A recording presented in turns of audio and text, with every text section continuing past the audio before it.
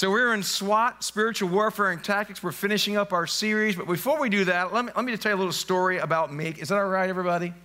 Okay, I grew up on Long Island, not Long Island, Long Island, New York, Mineola, and also in Garden City. And there was this pool I used to go to. It was called, it was called the Mineola Pool. What a, what a great name. And this is actually the pool. And, uh, and so I used to live in a neighborhood uh, over the railroad tracks in a nice English Tudor home. And uh, my, I used to take off in the morning after school or whatever in the morning. I, I leave at 8 o'clock in the morning. I get my Banana seat bicycle with my chopper handlebars and it was a three speed. It was pretty cool. And I'd take off. My parents had no idea what I was doing or where I was. Right? That's how it used to be. In fact, back in those days, we didn't wear seatbelts. no seatbelts. And I remember being in the back of a pickup truck going to the beach, sitting with no seatbelts, nothing. Okay? We used to eat peanut butter in school. People are more concerned about drugs than peanut butter today. So those are the days, right? Those are. The, I mean, I remember one time I would go to the uh, mall. My parents before they had shopping malls, but they had this kind of malls, and my parents would drop me off in the toy department and take off, and leave me there like for an hour. And it wasn't just my parents; it was like a bunch of kids with. I mean, today we would call DCF, right? And there was no cell phones, no geo tracking. My parents had no idea where I was half the time. All the things I used to do, right? And somehow we survived. Now today, I don't know. I think sometimes I miss some of those days, especially the seatbelts. No, I'm just kidding. But anyhow, but I remember one time my friends and I, we, we get our bicycles and we go across the railroad tracks and we throw rocks at the trains. It was bad. I was bad. I was a bad guy, okay? But at 11 years old or so, 10 or 11 years old, we go to the Mineola pool in the hot summer. And this is where they used to have the high dive to get rid of that. And I went in right in here, had my backpack, went right here to the men's changing room right over here and I was talking to my friends, put it on, put it on. I thought I got myself dressed appropriately, and I got out, walked outside from here to out here, and this is full of chairs and people. Everyone's looking at me like this. Girls are going. I'm like, what's everyone's problem? I'm just walking around like there's no problem at all. And then I go over to here, and I dive in headfirst at five foot. You're not supposed to do that. This is before the days. You, this is when you could dive in the pool. Okay, and so I dove, I dove in the pool I looked out and I realized that I lost my trunks. Had no bathing suit on. And I was, I was freaking out and I looked for it and I found this little white thing. What's that? It was my fruit of the loom. I did not dress appropriately. I was talking to my friends. I wasn't paying attention. I walked out with my BVDs or Fruit of the Loom in the middle of everybody, right? So I'm, i walked out there not knowing I was not dressed to be in a pool. I was dressed to be a man at home with his family by himself with his wife. And so I, I, quickly got it on. I, I, I, flagged some guy down. And I knew, hey, listen, do me a favor. Go over to that chair, get my towel. He says, what's the matter? I don't have my bathing suit. He thought it was so funny. He jumped in, got me, picked me up, and threw me. all in all my glory. Yeah. So uh, from this day forward, I, have been going through post-traumatic stress syndrome. How many of you have dreams about you don't have your clothes on? Am I the only worst person? Yeah. So I got, I got my towel, I got out of there. And so what happened was I was not dressed and I didn't realize it. And I was basically naked. You know, a lot of us, we're not dressed appropriately to handle the spiritual war that we're in. A lot of us treat it very flippantly. You know, we're in a battle, whether you recognize it or not. We've been talking about spiritual armor. My question to you is do you have your spiritual armor on? And if you don't, how do you put it on? We're going to finish up today. Are you dressed for battle? If you're not dressed for battle, you're going to be casualties, needless casualties of war will begin to happen. Spiritual warfare is real, and you are in a battle, like it or not. We've been talking about this, right? We're in a battle, and there's three basic, uh, and God is stronger than the enemy for sure. Okay, make no mistake about it, that God is on, we're on the winning side. We don't fight for victory, we fight from victory. We're more than conquerors through Jesus Christ. Jesus won the decisive victory on the cross. But we're in the mopping up operations. One day he's coming back, and now we still have battles, but the decisive war has been completed, but we're still in the last sec- section of cleaning up everything that's been done. All right, and so this is what happens. And so we fight from victory. We have to understand that we are in a spiritual battle and we have to prepare ourselves for the right way. The battleground is the flesh. It's the flesh, it's your hunger, it's your appetites that are not redeemed. Also, it's the world, the world system out there. If you don't recognize that you will be affected by the world, if you're not aware of the fact that you're living in a world and the secondhand smoke of the world gets on you, you even inhale it without even realizing it, unless you take preventative measures, it will affect you. And we also fight the demonic realm as well. And the primary real estate in which we fight is between our ears and our mind. The enemy knows he's a defeated foe. So, what he does is he fools us to believe lies. Jesus says, You will know the truth, and the truth will set you free. And the enemy knows that. So, if he gets you to believe a lie, he can keep you bound up, not doing what God has called you and I to do. See, everything visible and physical precedes by something invisible and spiritual. So, if you want to fix the visible and physical, you must first address the invisible and spiritual. That's for everything. If you're gonna start a business, you gotta think invisibly first, right? You gotta think invisibly. You wanna have an invention, you think invisibly first. You wanna change your life, you gotta think invisibly first. But we should think invisibly and also pray in the spirit beforehand. If you want to have victory over your body, you want a victory over lust or any kind of situation, you want to get yourself into shape, you have to think uh, invisibly first, and then it shows up physically. So the battle is won spiritually first. And then you march it out. We've been talking about warfare and we talked about the Air Force, right? And so what happens there is an Air Force. And so anytime you want to occupy territory, you first got a carpet bomb. Remember shock and awe? Our military did that. We softened the target. So when you and I pray, we're part of the Air Force.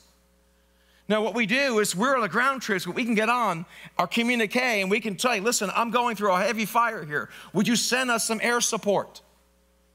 And you and I can pray and ask for God's will to happen. And what happens in the spiritual realm, we have a certain amount of leeway based upon what God has given us. And you can even see in the Bible that sometimes God will seemingly change his mind through prayer. There have been situations, for example, in the Israelites turned against God, and God said, I'm going to wipe them out. But this is what happened Moses says, God blot me out of the book, but did not wipe them out. And the Bible says he changed his mind. The Ninevites, God said, I'm going to wipe you out, but they repented and changed their mind. What happened? Things changed. So you and I have an, a direct effect of what happens and what does not happen. We cannot change the character of God or the ultimate sovereignty, but we do have a role to play in our prayers if we pray or do not pray. God told Hezekiah, the king of Israel, put your affairs in order, you're going to die. He put his face to the wall and he cried out to God, and the prophet came back said, God heard your prayer. You have 15 more years. I'm telling you, my friends, prayer makes a difference. It doesn't just change you, it literally changes sometimes how God acts. You can never change God's character, but God's timing sometimes can change. And sometimes He'll even give you what you ask for when it's not good for you. He's a father, it's communication. And so, what do we do? How do we fight this battle? We have to understand it's all in the spiritual first. And we're going to wrap up this whole series today on warfare. Again, we go to this finally, what? Be strong and what? In the Lord and in the strength of His might. God, I need your strength. I was just talking to someone last service that said, you know, we have all these cute prayers, but when you're going through a hard time, that's when you really lock in. And I've been doing a lot of locking in this 2024, let me tell you. It's been an interesting year for us. A lot of, a lot of warfare in many, many different realms that I can't even share with you exactly everything that's been going on. It's been tough. And I've had to rely upon God and say, God, I don't understand what you're doing, right? If I'll be strong in the Lord and in the strength of his might, put on the whole armor of God. Put on how much? The whole armor, not just part of it. That you would be able to stand against the schemes of the enemy. How do we stand against the scheme of the enemy? How? By putting on some of the armor? No, by putting on all the armor. If you're gonna go to war, listen, if you're gonna fight, if you're gonna be a football player, and you're in your bathrobe and you have your slippers on like going to Walmart, okay? It's a fact. Have you guys been to Walmart lately? What are people wearing? Sitting there in line, this person is wearing, is it the pajama pants and a thong? I mean, like, uh, let me explain. I mean, flip flops, flip flops. We used to call them thongs, okay, when I was growing up. I made a mistake. Okay. There's a little thing you put in your toe in between. Okay. I mean, it's not appropriate appropriately dressed that way. And, and we think we can face the spiritual realm not being dressed appropriately. The Bible says if you're going to overcome the enemy, you got to put on the full armor of God. You can't be going to the football field on the bathrobe. You have to put your helmet on, your shoulder pads, right? Your cleats. You need the full armor to fight in a battle, uh, spiritually and even in sports. So, why do we do it? For we do not wrestle against flesh and blood, but against the rulers, against the authorities, against the cosmic powers over this present darkness, against the spiritual forces of evil in the heavenly places. Just because you can't see it doesn't mean it doesn't exist. A lot of times we act like that, we act like that little boy who was in trouble with his parents, so he closed his eyes. He says, Since you can't, since I can't see you, you can't see me. No, we're in a spiritual battle, whether you like it or not. Listen, everybody, you can't see all the cell signals. You can't see the microwaves. You can't see the spiritual realm. Maybe one day we'll develop something. I don't know. Maybe the, Apple will have glasses one day. I don't know. But we are the spiritual forces in heavenly places. We're in a battle. How do we fight? How do we put on the armor of God? Okay, how do we put it on? You want to know how do you put it on? Okay? Praying at all times in the Spirit. That's how you put it on. Verse 18 is a summary of the, all what's going on. So, what do we do? We pray on the armor of God. We're going to be talking about that today. We're going to close out praying at all times in the Spirit. What does that mean with supplications and petitions? We're going to go through today as we finish up. I want to encourage you to learn to pray on the armor of God. Let me give you an illustration. I did this for a period of time. I was going through some significant difficulties and it was very difficult. And I, a friend told me, listen, you need, you're going to battle right now, and you need to fight, and you need to put on the whole armor of God. And he told me, he prayed with me, he said, you need to put on the armor of God. We put on the, we put on the armor by praying it on. Praying it on. Maybe some of you can get Ephesians 6 and, and read it this week. And maybe for a week, just give it a shot. A week, just take time every day as you get dressed in the morning. Maybe you can dress yourself spiritually and it's a good systems check. And you're literally saying, God, I am putting on your armor today. What does that mean? Well, therefore, take up the whole armor of God that you may be able to withstand the evil day, and having done all, stand firm, stand. Sometimes all you got to do is stand. Don't give up. Don't give up. I know it's tough. I know you want to retreat, but it's always wrong to run away from the right thing. It's always right to do the right thing.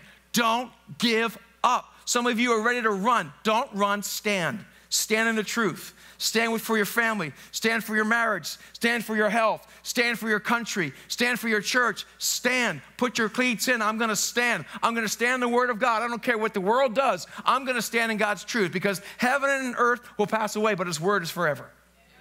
And so we continue to stand in that. Stand there for having fasten the belt of truth. And so I have to pray on the truth. Okay, there's the armament. So I'm going to pray on the truth. Lord, today I put on the belt of truth. And the belt of truth is not subjective, it's objective. There's absolute truth. There's good, there's evil, there's right, there's wrong. And Lord, today I put on truth. I'm going to believe what your word says about me, not what my thoughts and feelings and others say about me. I am more than a conqueror in Christ Jesus. Lord, I thank you, you'll never leave me or forsake me even until the end of the age. I thank you, I'm a child of God. All my sins have been forgiven. I want to thank you, I have intrinsic worth. And if you know the word of God, you pray on the truth. I choose to listen to truth today. And so when you hear that voice saying, you can't do it, no, I can do all things, right? That truth, belt of truth. And so what do you do? You pray on truth. So this, say, Lord Jesus, today I put on truth. Holy Spirit, I ask right now, I'll be filled with your truth today. I declare my whole life is going to be centered in the truth. because the truth will set me free, and the truth is a person, it's Jesus. And then having put on the breastplate of righteousness, what we do is we, the breastplate of righteousness is connected to the belt. And this protects your internal organs. So, Lord Jesus, today, I choose to do the right thing. That's what righteousness means doing the right thing. Lord, I choose right now, I choose to forgive that person that just insulted me at work. I choose to forgive that person that just posted something on social media uh, and I know they're talking about me. I choose to forgive in Jesus' name. I choose not to be bitter. I choose to get better. Thank you, Lord Jesus. And what you do is you make righteous decisions. You do the right thing. You actually, okay, okay, mm, okay, okay. I'm not going to yell at the kids. I know the dishes are in the sink. I'm going to be cool. I'm going to calm down. I'm going to turn off their internet. you want to drive kids crazy? Turn off the Wi Fi and the cellular data network. You'll get their attention. Okay, just one little secret I've learned. Okay. But you put on the breastplate, I'm going to do the right thing. I'm going to be righteous righteous thoughts. Is that righteous? No, I'm not going to think about I'm not going to think about lust. I'm not going to think about I'm not going to entertain that in my mind about how I want to get back at that person. I'm going to be righteous. And what does this do? It protects your internal organs. Why? The heart is the wellspring of life. Protect your heart. So you pray on the breastplate of righteousness. And then, having put on the breastplate of righteousness and the shoes of your feet, having put on the readiness given by the gospel of peace. So, Lord, I put on my shoes and I stand. And Lord, I pray that where I go today, I'd bring peace. I bring peace into my workplace. Father, I bring peace into the hospital room. I bring peace into the doctor's office. Lord, thank you that I have the ability to walk on things that no one else can walk on because I have the cleats of the Word of God. I have the gospel of peace. My peace I give to you, not as the world gives. Peace be with you. My peace I give. Thank you, Father. I have your peace. Thank you, you're the Prince of Peace, Lord. And listen, everybody, sometimes it's hard. But even when I'm anxious, I have peace. So I put on the gospel of peace. Am I going to walk in peace? Oh, I'm going to walk in adversarial mode, trying to get in my way. Pray it on. I take up the shield of faith. Lord, I, and by the way, the first three you keep on all the time. The last three you take up when necessary. Father, I choose to take up the shield of faith today. Lord, thank you. I thank you, Lord God. And what is the faith? Faith is faith comes by hearing and hearing the word of the Lord. So I continue to say thank you. My God will supply all of my needs. You're done. My God shall supply all of my needs in Christ Jesus. I'm not good enough. God will never forgive me. If I confess my sins, He's faithful and just to forgive me of all my sins.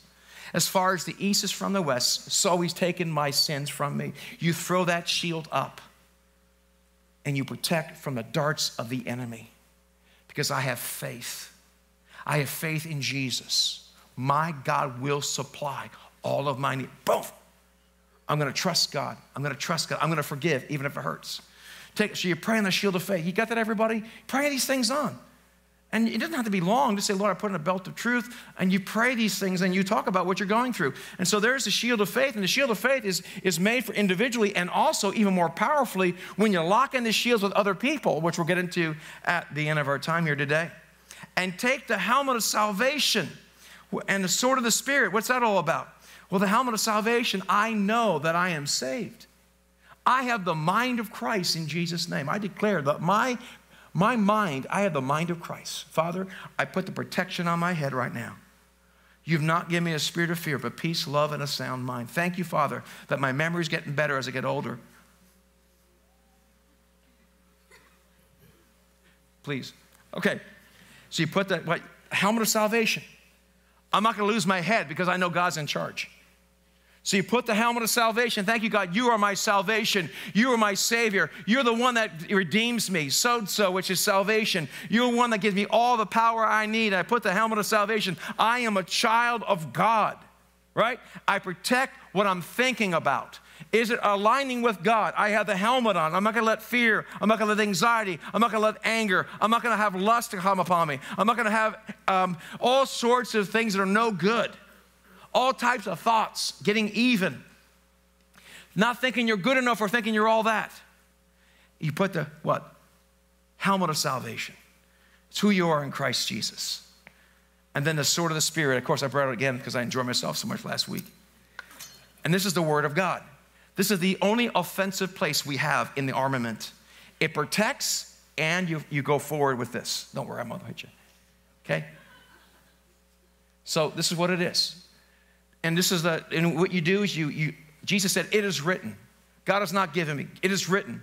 You shall worship the Lord your God with all your heart, your mind, your soul, and your strength, and love your neighbor as yourself. Boom. And you just begin to, you begin to twist that knife in whatever you're going through. That's why you need to know the word of God. And so this is hand-to-hand combat, but it's all kinds of prayer, by the way. And there's even the Roman armament, they even have this. They have a spear like this, similar to this. And they would have a, they'd have a, a short sword and it had this, and they would dig it in the ground. And if the enemy came and the horses came, they would, you know, over the uh, interlocking of the shields. And also, what they would do, they'd take the spear, and what you could do is you could hit targets that were farther away. So you take the spear and you throw it. Okay, so sometimes we use different types of prayers. So sometimes, it, my friends, you take the word of God and you say, Lord Jesus, in Jesus' name, I thank you that, Lord, I thank you for my child right now. And I speak against that situation in my life. And Father, I pray right now, I declare that my child is going to know God. I thank you, Father God, that this cancer, in Jesus' name, I command it to go. And you just begin to pray. And sometimes you need to throw a spear a little farther. You just kind of throw it like this. Woke you up. Okay. So that we begin to do, right? We use, the, we use the sword and we can throw it. And, and, and what we can do, everybody, we can launch missiles far away. And this part of intercession is you and I can pray. It doesn't have to be hand to hand combat. Sometimes you need to throw it ahead of what's going on. So, what do we do? How do we get forward? And take the helmet and the sword of spirit, and here it is sword and, and spirit, which is the word of God, praying at what? Praying at all times. What does all times mean? All times. In the spirit, with all prayer, all kinds of prayer. Prayers of thanksgiving. Lord, this is what I need. Prayers of thanksgiving, prayers of supplication, um, passionate prayers list prayers, you name it, all kinds of prayers. We're communicating. Listen, everybody, no relationship on earth can function without prayer. Often we treat prayer, we talk about prayer all the time. But you know what we treat prayer like a lot of times? Ever go to a baseball game? What do they do before the baseball game? They sing the national anthem. Let's get that over with so we can play ball. Right? Uh, Lord, how about before we eat? Lord Jesus, rubber dub dub, thanks for the grub. Boom, and I want to eat. So we, we go through the preliminaries just to do it. No, friends, it is the main act that we do. We pray continuously, nonstop. What? Are we supposed to get a little oriental rug and face Mecca all day? No, that's the wrong religion. No, we pray to Jesus Christ. You see, praying at all times in what? In the Spirit, with all prayers and supplications all kind, being specific about what you're praying for. To that end, keep alert with all the perseverance, keep alert with all the with all perseverance, making supplication for the saints and also for me. The Apostle Paul says, Would you please pray for me? Which we're going to get to in a few moments. Okay, let's get back to this. Prayer must be central in all that we do. Pray first, not last. God, I want to pray. I want to put you first. What does it mean to pray first? How do you keep central? Well, what you do is you pray before, you pray during, and you pray after. Praying at all times in the Spirit. All times. What does that mean? Well, the Word of God says, pray without ceasing. How is that possible? Well, obviously, there's all kinds of prayers, but what we're doing is we're staying in a consciousness that God is with you wherever you go. I will never leave you or I forsake you. So I'm not going to hang up the phone. I'm not going to call end. I'm going to leave it in walkie talkie mode. I'm a walkie and I'm a talkie, and I'm going to talk to God throughout the day. When I was teaching my daughter to drive, Jesus! I kid you not, Lord. She's not here, is she? Okay. Cry out his name when you're in an airplane Jesus! right? So we want, we want to have a God consciousness. That, and listen, what would happen if all through the day we would keep God in our center of our. I can't do that. Imagine what kind of day we would have. I wish I say I had this mastered. Sometimes I do really, really well with it, other times I don't. Just keeping, Lord, you're with me right now. Lord, you're with me right now. Father, thank you with me right now. I'm driving the car. I'm having an ice cream. Um, God's with me no matter what I'm going through. Thank you, God, you're with me. And to be continually praying and seeing. And it's a great place to be. Why? Because now you know what you're supposed to do. Listen, if you can obey Him in the small, you can obey Him in the tall. So, practicing his presence is very important. The Bible says Jesus did nothing unless he saw the Father doing it. So, he was always in communication. It doesn't mean you're always like this. No, you're walking around and you're listening to the Spirit of God. You're driving in the car with the Holy Spirit. He's with you, He's a passenger with you. You're listening to what He has to say. Does that make sense? You got it, everybody? I know it. What a wonderful place to be, staying in His presence. So, prayer must be central, and you can't pray like you ought to pray unless you know the word. You know, I remember being a kid, and uh, I remember playing with fire. and we, we sitting there in a campfire, we'd throw hairspray in there, and boom, right? Or uh, how about this? Before I learned how to make a fire, we throw a newspaper. It was really impressive. Like, great fire, and then it would just die out. We put wet wood on there. Nothing, it's hard to start a fire. I always wonder how do forest fires begin? I cannot start a fire if my life depended upon it. Right? But let me share something about fire. Fire, what do you need for fire? You need what? Seasoned wood. Seasoned wood. If you put wet wood on there, it's not going to do very well. So you have to cut the wood. Bible says, study to show yourself approved, rightly dividing the word of truth. So you read the Word of God, what you're doing is you're getting wood. Your wood, it's the fuel. So you cut the wood and you let it season, and then you throw it in the fire of your prayers and it ignites. But you can't live on yesterday's word. You need a word every day. That's why it's important, my, friends, that you and I get in the Word. Get the Word. Thy Word have I hid in thy heart that I would not sin against you. I want to get God's Word in me and take the word and you put it in the fire of the Spirit, and you have the wind of the Holy Spirit that will oxygenate it, and your spirit is, is burning the wood. Now, I've heard it said this way if all you do is pray, you'll blow up.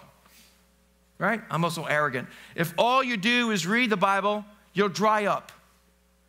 But if you pray and read the Bible, you'll grow up. I'm telling you, everybody, I've had people pray crazy, insane prayers. Stop praying. I don't want you to pray for me. They're praying things that are wrong because they don't know the Word of God. When you know the Word of God, you put the pri- otherwise you'll be burning strange fire with your prayers. God, you know you want me happy, and I'm not happy with him or her, so I'm going to leave my husband. God, Lord, thank you. I pray you give me happy. That's not the Word of God. Lord God, I pray you. No, that's not the word of God. You need to pray the word of God, not strange fire, not your passions. What is the word of God? When you pray the word of God, it's powerful. In fact, Jesus prayed the word of God. It is written, it is written, it is written. The disciples in Acts chapter 4 were being uh, were in, locked up and were in trouble, and they got back together after they were beaten. The, the church got together, they joined together, they prayed together, and they said, Father, behold, uh, stretch out your hands for signs and wonders. And then they quoted the Old Testament, how the nations rage. The believers got together, they quoted the Old Testament together, and the Bible says the place they were filled with the Holy Spirit, and God shook them with an earthquake. And they went out with boldness. You and I need to get together and pray for our families, for our towns. We don't have to give up on our families.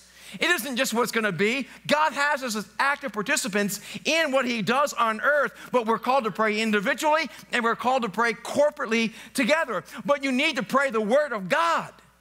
And the only way you know the Word of God is to have good doctrine. Doctrine is understanding the Word. Well, I don't even know where to begin. We'll talk about that. So, do you have good wood? Or is it wet wood? What's wet wood? Unseasoned wood. You're just you're giving it with someone else. You know, let, me, say something else as well. You cannot live on church only. Listen, if, if imagine if you will, if you work in a restaurant and that's the only place you work, imagine it, you sit down, but you never eat for yourself. You eat off someone's plate. Can I have the leftovers? And that's all you do. Are you going to have a well balanced meal if you're eating someone else's leftovers? No. How do you get healthy? You have to prepare your own plate. And some of us, all we do, we come to church, you hear a sermon, you put on K-Love, whatever, and you have some leftovers. God wants you to prepare your own plate. I'm telling you, nothing got me more bitter than being in the ministry without being with Jesus. Let me say, when I get a bad attitude towards the church and I get irritated with people, it's usually because I'm not spending time with God. I'm spending more time in the ministry. My father told me when I got married, don't put the ministry first. The ministry is not God, God is God. You see me, everybody? Seek first the kingdom of God. God first. And so that's what we need to do. You cannot pray like you ought to and pray unless you know the word. Do you know the word? How do I start? Start small. Start with the New Testament. Start in the book of John. Go slow. We want to help you to understand how to read the word of God. You see, Bible says praying at what? All times in the what? In the spirit. What does that mean in the spirit? When you gave your life to Jesus, you have the Holy Spirit in you. But there's also something we can ask for the infilling or the infilling or the baptism of the Holy Spirit. Oh no, he's going to get into listen, stop listening to all the controversies. It's in the Bible. Pray that God would fill you with power from on high. Jesus said, if anyone wants the Spirit, let him ask, and God will freely give it to him or her. So we pray for the Spirit of God. We don't have time today to go through it, but in our, in our, our freedom group, we go through it. And also, we're going to have opportunities on different workshops to help you to get filled with the Holy Spirit. If you want to, we'll pray for you after the service. Praying at all times in the Spirit with all prayer and supplication. What does that mean? Well, the Bible says in Romans 8 26, I want to show you how this works a little bit. The Bible also says in the book of Jude, building yourself up in the Holy Spirit. The apostle Paul talks about in 1 Corinthians chapter 13, chapter 12, and chapter 14. He says, I pray and I build up my own man in my spirit. I pray with the spirit and I pray with understanding. So likewise, the spirit helps us in our weakness. Why? For we do not know what to pray. You ever get that point? God, I don't know what to pray. But the Spirit Himself intercedes for us with what? Groanings. God, I don't know. Sometimes there's been situations in the last couple of months I didn't know what to pray. But Lord, I began to pray in my spiritual language. It's, it built me up. And the Spirit of God knows how to pray for me. So I began to pray in my spiritual language. It doesn't make me better than you, it makes me better than me. It's a tool, right? It's something that God gives us. So the Spirit of God begins to intercede for me. Where groaning's too deep for words. Sometimes I don't know what to say, God. And there are times I'll pray with understanding and I'll pray in the Spirit. I'll pray with understanding, I'll pray in the Spirit. Now, in a public gathering, obviously, we need to be know what we're talking about. But there are times for that. And when He searches the hearts, knows what's in the mind of the Spirit, because the Spirit intercedes for the saints according to the will of God. So notice what this is about, right? With groanings and the Spirit of God. And there's times I'll be praying, and while I'm praying for somebody, God will give me pictures, words, and I'll pray for someone. I said, How did you know that? I don't know. I was just listening to the Holy Spirit. And I was praying with understanding. I was praying what I was hearing. I was praying about pictures I was seeing. Whatever how God speaks to you, you begin to pray, and you're gonna make sure that it's the Word, that you're praying the Word, that it, it agrees with the Word, it is not contrary to the Word. So the Spirit intercedes for the saints according to the will of God. You see that, everybody? Verse 26, verse 27. Now, verse 28, we all know, but we disconnected from the 26 and 27. Conjunction and. And we know that those who love God, based upon what? Likewise, the Spirit helps us. He intercedes with groanings, right? And what do we do?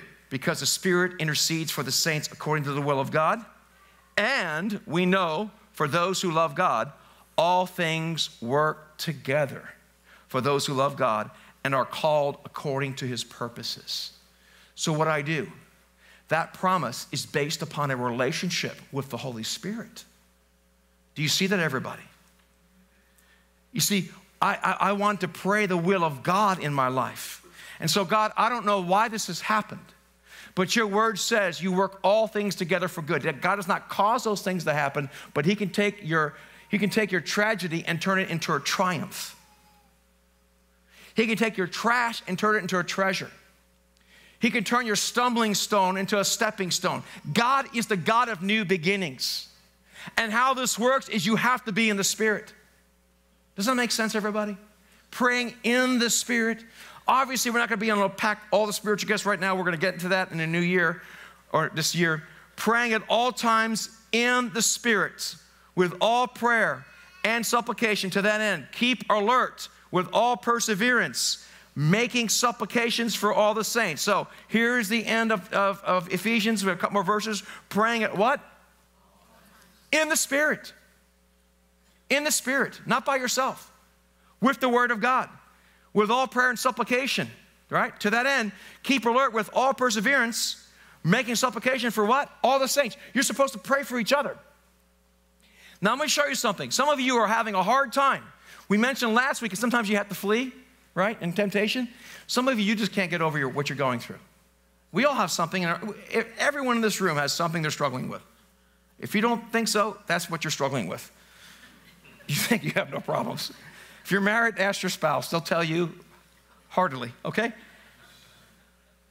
And also for me, what does Paul say? Praying at all times, making supplication for all the saints. And what does he say? And also for me. Apostle Paul. The Apostle Paul. Hello. The Apostle Paul is asking for prayer. Jesus asked for prayer. He asked his disciples to come with them. Come, watch and pray with me that you may not fall into temptation. If the Apostle Paul, who wrote a third of the New Testament, found it necessary for people to pray for him, do you think maybe you and I need to ask people to pray for us? Maybe the reason you can't get over what you're getting over is because you have no one to join in prayer with you. You need someone to lock with you, to walk together with you, take your sword, of uh, take your sword, and march together. Sometimes there's some areas of your life you need to inter, intercede. You need to get someone else to pray for you that we're going to pray prayers of faith. You're going to pray the word, right? So, also for me, and also for me, that my words may be given to me in opening my mouth boldly to proclaim the mystery of the gospel, for which I am an ambassador in chains, that I may declare it boldly as I ought to speak. The Apostle Paul says, Listen, I want to speak the right way. I need your prayers. Folks, I need your prayers. I'm praying for you. I can't pray for all of you. I pray for the church, and God will drop you in my heart and my mind. I'll pray for you. But you need someone to pray with you. We need to pray for our country. We need to pray for our families. It's not existentialism. It's not what will be, what will be. No, you and I have an active role in what's happening, and the enemy is trying to fool you that your prayers don't matter. Your prayers do matter. We're to pray without ceasing. We're to pray the Word of God. We're to pray by the power and the work of the Holy Spirit with other believers. The Bible says in Psalm 133 how blessed it is when brothers and sisters dwell together in unity. It is there that God commands His blessings. We need to be praying for each other. And so maybe you can't get over your sin, you're in, in adultery, or whatever you're going through, or anxiety, or depression, or you're struggling with finances, or whatever it is, a habitual sins. You can't control your weight, you can't control your thought life. Maybe you need to call someone. Will you pray for me? Get people to pray with you, battle with you. Don't do it alone. The Apostle Paul needed it, Jesus needed it. The mighty are the prayers of a righteous man, they availeth much. We need to pray for each other. So, as we conclude today, what do we got to do? I am the vine, Jesus. You are the branches. Whoever abides in me and I in him, he's the one that bears much fruit. From apart from me, you can do nothing. Are we connected to Jesus? Are we connected to his body? I want to encourage you, this final piece of the armor. I want to encourage you to pray on the armor of God. I want you to pray on the armor. I, I encourage you, this, can you do this week? A little homework assignment. I'm not going to check you, but try it for a week. Open Hebrews chapter 6. Pray. Lord, I put on the belt of truth. Lord, I put on the breastplate of righteousness. Lord, I wear the gospel of peace. I put on the helmet of salvation. I draw the sword of the Spirit. And I pray, Father. And you just get yourself ready for battle, that you can stand against the schemes of the enemy, individually and corporately. We're not called to do it alone. Jesus always sent his disciples out two by two. You need somebody else who loves God, who knows God to pray with you. Guys, we can overcome by the word of his testimony and the blood of the Lamb. Let's pray. Father, in Jesus' name, Lord, I don't know if I was able to communicate your word. I'm trying the best I can, Lord. I just thank you, your word would do its own work. And Father, I pray in Jesus' name that we would be fit for battle. Father, I pray we would wear all of our spiritual armor in Jesus' name. Father, I declare in Jesus' name that we'd have victory in you. Father, I pray we'd be people of, of the word, people of faith. Father, that we would march together, that we would lift each other up in prayer, that we'd stand together, Lord, that we'd see adversities fall, we'd see marriages healed, businesses started. All sorts of things would be changed because we're working together healing in the body, healing in the mind, healing in finances, healing in relationships. Father, that we'd even see our communities changed because we, we are doing our part in work and in the community in Jesus' name.